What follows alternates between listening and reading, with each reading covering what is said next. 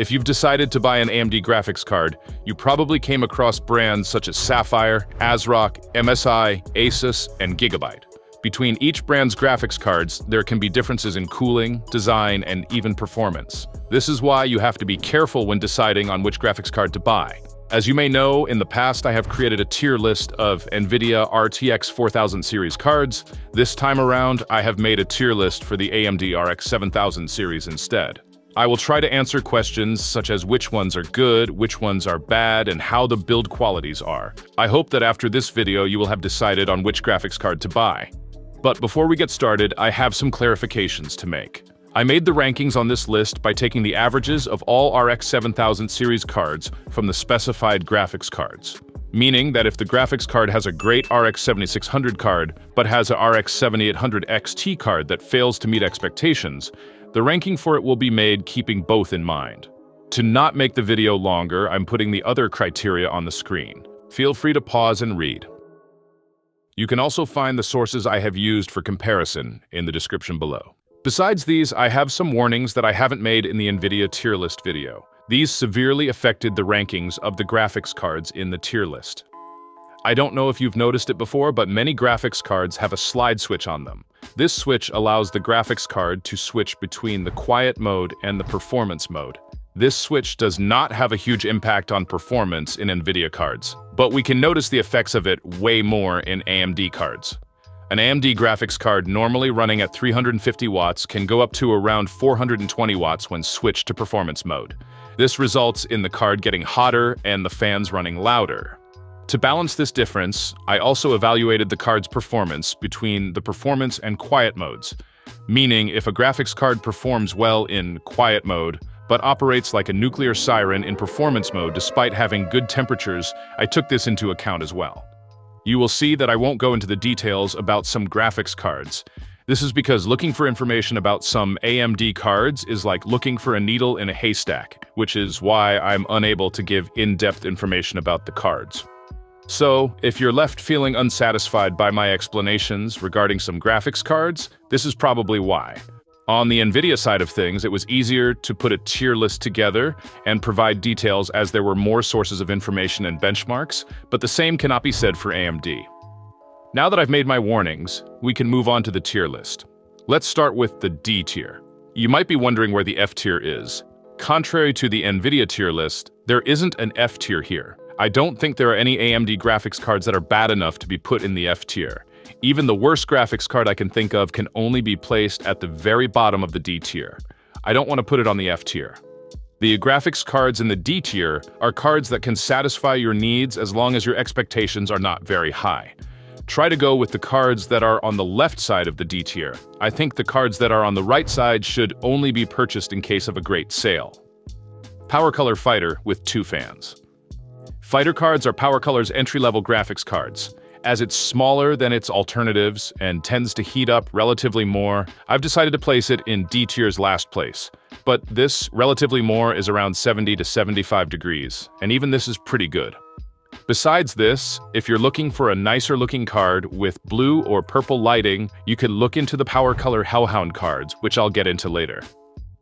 XFX Swift it's really hard to find information on this card. There is plenty of information about the RX 6000 series, but it was hard to find information on the RX 7000 series, probably because the only two cards in the series are the RX 7600 and the RX 7600 XT.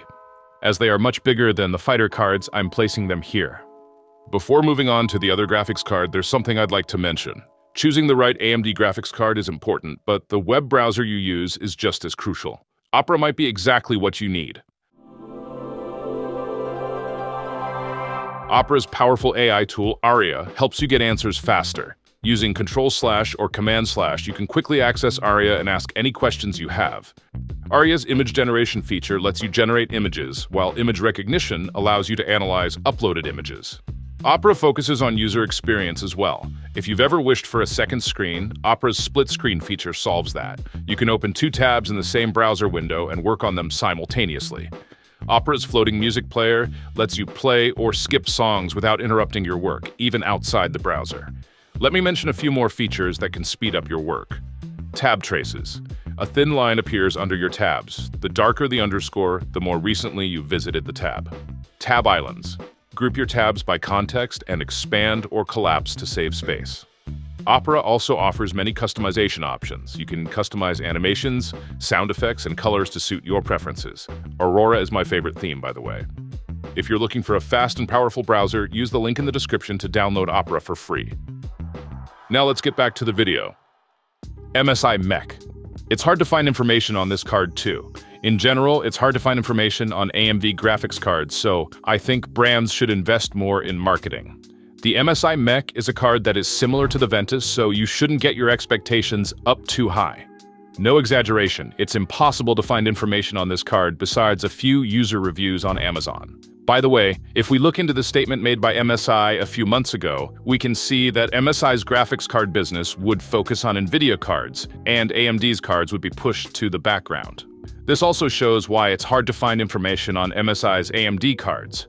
Anyways, from what I've seen in the customer reviews, the MSI Mech offers a satisfactory performance but has noisy fans. Although it's a bit smaller than the XFX Swift, I'm putting the MSI Mech ahead of it, but don't overthink it. As I've mentioned before, finding information about these cards and comparing them side by side is really difficult.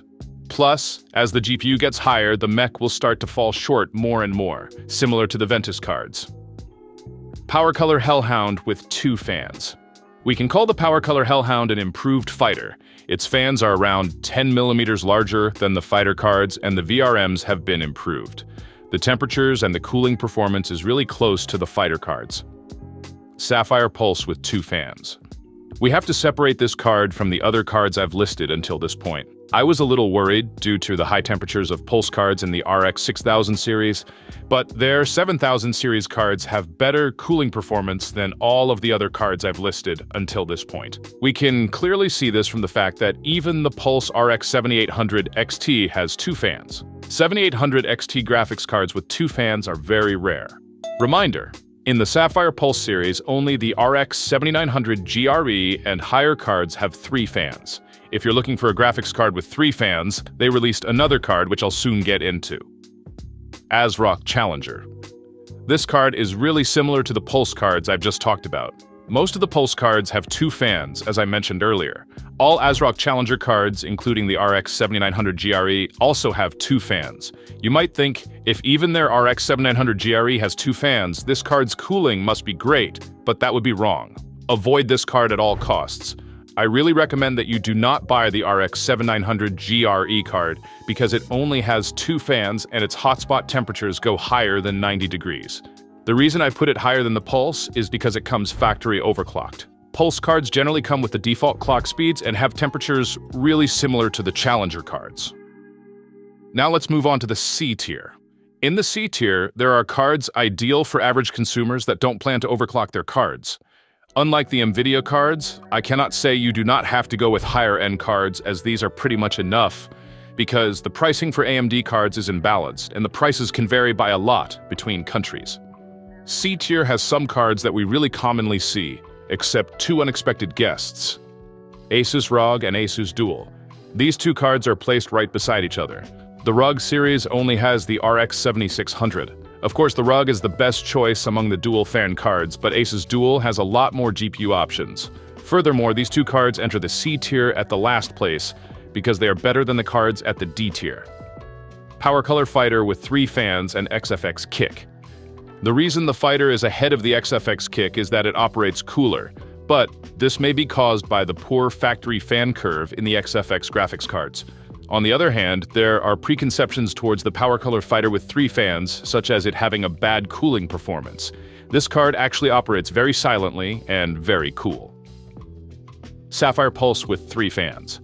I cannot make a clear comparison of this card with the other cards in the C tier because Sapphire's only cards that have three fans are the 7900 GRE, the 7900 XT, and the 7900 XTX. So the only GPU in common that I can use for comparison is the 7900 GRE, but there isn't enough information on this card either. Therefore, any comparison that we could make wouldn't be very correct. Among the 3-fan RX 7900 XT and 7900 XTX graphics cards, there are many sources for the PowerColor Hellhound and XFX Merc GPUs, but I can't say the same for the XFX Kick. Now, you might be wondering why I put the Sapphire Pulse with three fans on the C tier. I put it on the C tier as it's bigger than the fighter graphics cards with three fans, and because I've thought, if even the Pulse with two fans is this good, their three-fan GPUs must be better. As I've said, I cannot speak about some graphics cards on this list with absolute certainty because of the lack of online resources. Let's move on to the B tier. In this tier, there are graphics cards that don't enter the category of the best, but I still thought were really good. The imbalanced pricing of AMD cards affects the cards here too. I can even put some of the cards from the left side of the B tier onto the A tier. They are that good. Gigabyte Gaming OC and MSI Gaming Trio. I will shorten these to just MSI and Gigabyte. These cards have a weird balance. In the area where one falls short, the other one is better at. They are pretty similar cards, but I'm placing the Gigabyte higher because there are more GPUs. MSI Gaming Trio only has the RX 7900 XT and 7900 XTX GPUs. Sapphire Pure. If you can remember, I've said, if you're looking for a graphics card with three fans, they released another card which I'll soon get into, earlier in the video. This is the card that I was talking about. All GPUs of Pure cards have three fans, and Pure cards are different from the Pulse cards. You may think that these cards are similar and have the same cooling performance, but this is wrong. Pure cards are a little bit better at cooling. Also, Sapphire Pure cards operate quieter than the MSI and Gigabyte cards, therefore I'm placing the Sapphire Pure above these. ASRock Steel Legend Like the Sapphire Pure cards, the Steel Legend has three fans. Pure cards are larger than the Steel Legend cards, but as the Steel Legend cards come factory overclocked, I'm placing the Steel Legend higher than the Pure. The two cards' temperatures are pretty close too. PowerColor Hellhound. It has better cooling than the Pure cards and the Steel Legend cards, so I'm putting it ahead of them on the list. The overclock clock speeds are similar to those of the Steel Legend, but this can change between GPUs. Many people have a negative bias towards these cards due to the brand name, but some of their cards are so good that they can be deserving of a spot in the A tier. Asus TUF. The TUF graphics cards are on the first place of the rank they are placed in again. If you remember the NVIDIA tier list video, the Asus TUF was the best card in the C tier there. It has better cooling than the Hellhound, and even some of their GPUs are so good that they can be put into the A tier. Now let's get into the A tier. The A tier is the tier where the best graphics cards in the market are in, and depending on the country you live in, you can find some of these graphics cards for really cheap prices too. Gigabyte Aorus Elite. This card is here because it does not have a performance BIOS mode and because it only has the RX 7900 XTX GPU. I'm placing this card here because it's good at cooling and has a good build quality like every other Aorus graphics card. XFX Speedster Merc. The Merc is a rather weird graphics card. It's generally compared to the Nitro Plus. The reason why I place this card here is its weird factory fan curve. The factory fan curve is very unbalanced, and performance improves significantly after manual tuning. We were able to get much better performance out of Merc RX 6000 series cards after manually tuning the fan curves, and the same applies to their RX 7000 series cards. These cards can also work really loud in the performance BIOS mode, but this is also fixable by manual tuning. I can say that this doesn't make the Merc a bad card, it just lowers its efficiency. PowerColor Red Devil. As you can see, this card is on the left of the Merc, but I don't want you to think that it is better than the Merc. I only wanted to place them side by side. I can't say that one is better than the other. This is mainly because I could find only one information source, except the it's a nice card belief that is common for Red Devil cards. But on Reddit, as a response to this source, I saw one user stating that it operates at speeds lower than it's supposed to. But of course, as I cannot test the card out myself, I cannot say anything with certainty. Anyways, if you are stuck between this and the XFX Merc, feel free to pick the one that is cheaper. ASRock Taichi, Sapphire Nitro Plus, and ASRock Phantom. I think that anyone who's knowledgeable about AMD graphics cards could guess that these three would be in the A tier from the very start of the video. But I can also guess that there were some people who expected the Nitro Plus to be at the top, but sadly, it isn't. I have to start off by separating these three cards from the ones I mentioned before, because there is another type of balance between these three. The Nitro Pluses and the Taichi's overclock speeds are the same, but the Nitro Plus is a bit more impacted by the BIOS switch between quiet and performance modes. Also, probably due to the size difference between the two, the Taichi cards have better cooling. The reason why Nitro Plus sits between the two ASRock cards is that are overclock speeds. The Phantom cards are generally larger than the Nitro Plus cards, which is better for cooling, but since the Phantom's clock speeds are lower, I'm placing it behind the Nitro Plus. Alright, let's finish the video slowly. If you liked the video, don't forget to hit the like button. If not, feel free to dislike. Stay mysterious until the next video. Take care, and bye.